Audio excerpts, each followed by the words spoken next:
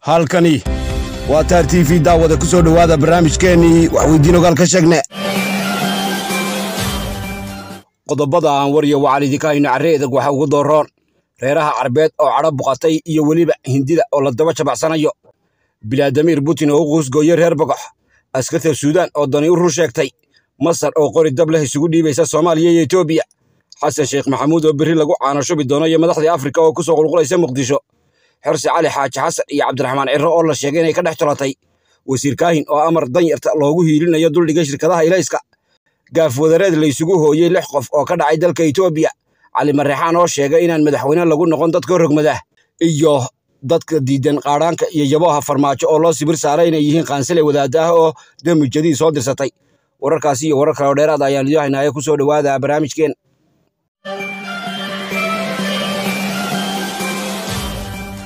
meel calayn lahoo uu cirku helaa cuud lagu dhaqaa. Sidoo kale casrigan carre dhammaan sarif caanbaxoo carrigaba dhammaan u cajiibsan iyo rasmi bay bulshadu ku caloolsan tahay. Ugu horrayn daawadee dalalka carbeed gaar ahaana khaliijka ayaa si weyn uga muujiyey cadho iyo dhirif ama umal kadib markii uu afhayeenkii hore ee xisbiga hinduuska dabka caabuda ee b g b. Ninka la dhaho nubuur sharma uu isla soo jacfeeriyey aflagaado meelkadhac iyo qadaf uu u geystay nebigeennii suubanaa maxamed. Nabadgelya naxariis korkiisa ha ahaatee arrintani waxay keentay dhammaanba la baacsado jidadka bariga dhexe qofkii hindi ura maadaama ay sidaa koronkorta u buuxdhaafiyeen qolyahaasi dalalka khaliijka. Waxaa la sheegayaa in shaqaalaha ugu badan ee dalalka carbeed ay ugu bowdheer yihiin. Hindidu halka la biniixiyey in dalka qatar ay ka badan yihiin dadka u dhashay oo ay ku laba jibaarmaan. Xogtu waxay intaa ku daraysaa in madaxweynaha ruushka valadimir putin uu isaguna fariin u diray dalka hindiya isagoo ka jawaabay dhawaaqa aan dhegta u wanaagsanayn ee ka soo yeedhay mas'uuliyiinta dalkaasi ee lagu aflagaadeynayo nebi maxamed. Madaxweynaha ruushka ayaa sidoo kale muujiyey sida uu uga xun yahay hadalladii muranka dhaliyey ee loo jeediyey nebi maxamed ee dowladda hindiya ka yimi. Bilaadimir putin oo hadalkiisa jawaab celinta ah lagu raxaanshubayey baraha bulshada ee dadku ku wada xidhiidhaan gaar ahaana afar iyo labaatankii milay ee laga soo gudbay ayaa u dhignaa talo iyo hoga tusaale uu taartay carabta iyo hindiya waxaana uu yidhi aflagaadada nebi maxamed waxay ku xadgudbaysaa xorriyadda diinta taas oo dhaawacaysa shucuurtii muqaddaska ahayd ee dadyowga islaamka. Docda kale maruu putin ka hadlayey shirkii sannadlaha ahaa ee gugii hore uu ku qabtay magaalada moscow ayuu jawaab adag xilligaasi ka bixiyey. Goortii uu wargeys faransiiska ku yaalla oo la odhan jiray jaarle hobdo uu soo marmaluuqay sawir gacmeed uu ku aflagaadeynayo nebi maxamed. Xilligaasi waxaa lagu xasuustaa in bilaadimir putin uu yidhi marnaba qayb kama aha xeerka xornimada hadalka ee qof walba uu u haysto inuu fikirkiisa cabari karo. Aflagaadada ka dhankaa nebiga waxay meel uga dhacaysaa buu yidhi xorriyadda diimaha waxayna ku xadgudbaysaa dareenka dadka haysta diinta islaamka.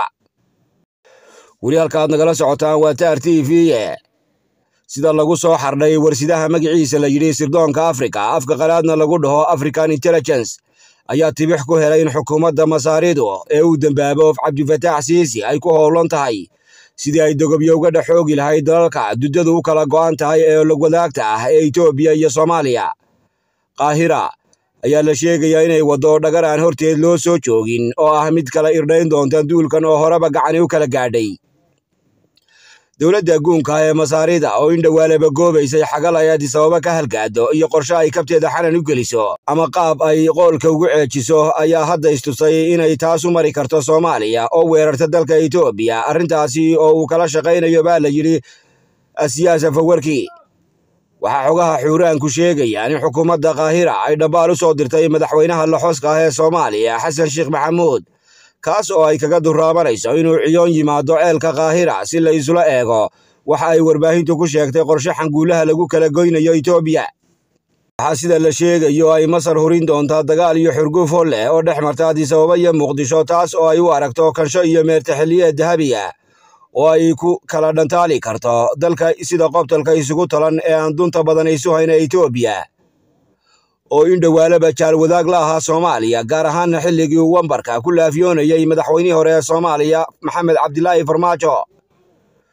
Weli waxaynu ku jirnaa wararka ceelka xamare iyaguna wararka ka soo deedamaya magaalada muqdisho ayaa sheegaya in dharaarta berriya gaawe gadhoodh ah lagu daluuci doono madaxweynihii. Dhowaan wambarka lagula itaalay maqaarkana loo marmariyey soomaaliya xasan sheekh maxamuud xogaha ayaa sheegaya in madal bowd ah oo berri loo ballansan yahay lagu dhaarin doono xasan sheikh oo isagu jaraha soomaaliya hayn doona afargu ee soo aadan.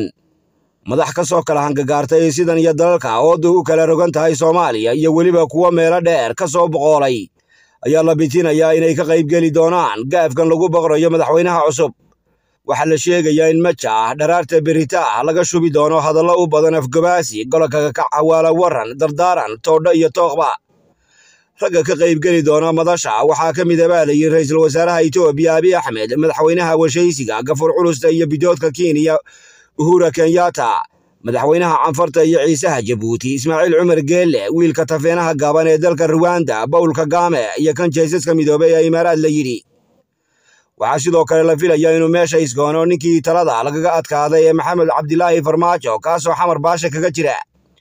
Isu socodka jidadka ama toobiyayaasha magaalada muqdisho ayaa xidhan guud ahaan dharaarta berriya iyadoo isha lagu wada hayn doono madasha la gigimayo oo ku taalla xerada xalane. Isaguna daawada wasiirka biyaha ee somalilan cali xasan maxamed mareexaan oo ka hadlayay riig loo faarfaadhay meesha la yidhahdo saylabari ayaa sheegay in haddii la odhan lahaa geyigoo dhan xukun oo ay ku jiraan jaynaha hindiya ruushka maraykanka iyo yurub. Ama inteeda kaleba adigu u sarree ma siisteen buu yidhi laba qof oo welibana kala qaalisaneh dhallinyaro ah. Mana idhaahdeen buu yidhi xabbadda isudhiga dagaalama oo dhinta aniga awgay. Waxa uu sheegay sidii aan anigu wambar ugu fadhiisan lahaa iyada oo aanay jirin ujeeddo aniga iga weyni. Idinkuna waxaad arkayseen hayaay ka kacaay ina kaba yeelaay ciise u yeedhaay cali biyo siiyaay idadhacaysa oo aad wada arkayseen una soo joogteen buu yidhi. Dalka horeba way uga jirtay buu yidhi muddo kordhin doorasho baaqata iyo waxyaalo la mid a welina waa markii ugu horraysay oo laga maqlo ninka doonaya dalka inuu kursigiisa ku fadhiisto oo si cad u yidhaahda sow dalka uma dhimanaysaan sow xabadda isu dhigi maysaan sow dagaalami maysaan sow dalka rogi maysaan wuxuu hadalkiisa ku soo gebagabeeyey wasiir cali mareexaan in loo baahan yahay dulqaad isxakamayn iyo inaad kasbato garashada iyo maanka dadweynaha reer somalilan oo aan waxaa madax lagu noqonayn meelna lagu gaadhayn kursina lagu fuulayn. Waxaa runtii inagu cusubuun waxaa inagu cusub dhaarta iyo iyo carruurta la leeyahay xabadda isu dhiga. Intaasunbaa inagu cusub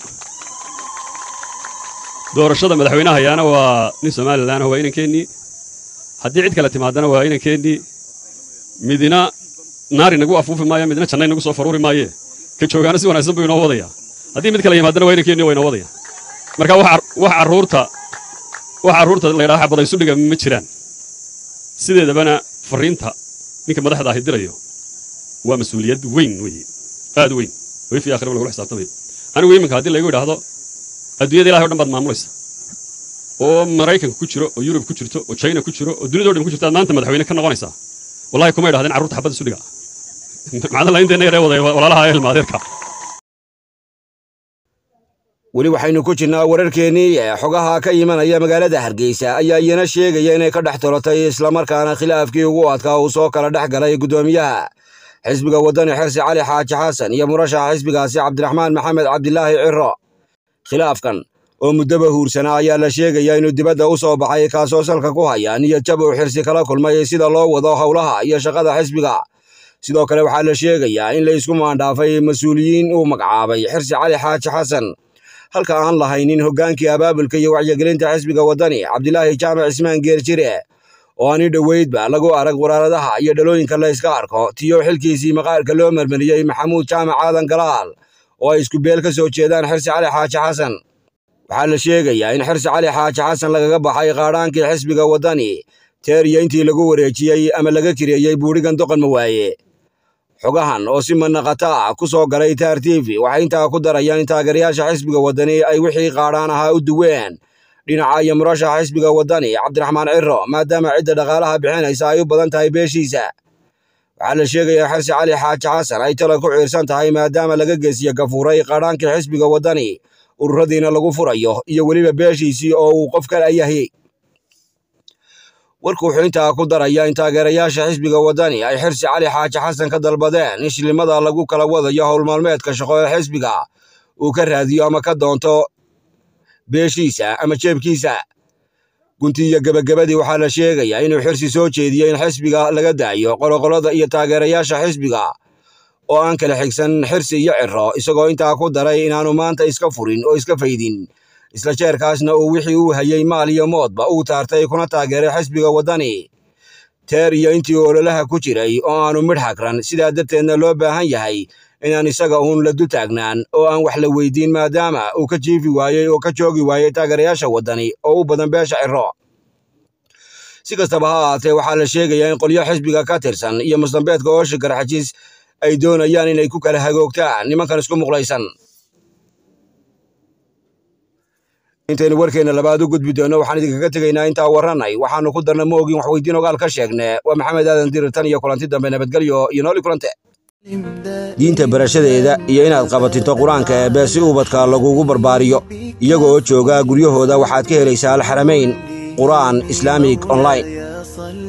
Xifdigii qur'aanka iyo barashada xakiimka iyo xasanaadka ducada iyo xadiisyada rasuulka iyo xisaabaadka dunidiyo xuquuqdii shareecada haddii xiise kuu galo xifdiyo carruuraha cidlo laguma xooree alxaramayn ka xaadiri haddaad u goolmoon tahay barashada diinta garaadkaaga oo qabatiba qur'aanka luuqda suuradaha afka carabiga barashada axaadiista rasuulka iyo dhammaan cilmiga diinta. Ka baro adigoo baradaada jooga alxaramayn oo ku fududayn doontaa dal iyo dibadba barashada diinteenna suuban kala xidhiidh wixii faahfaahin aleynada shaashadda kaaga muuqda.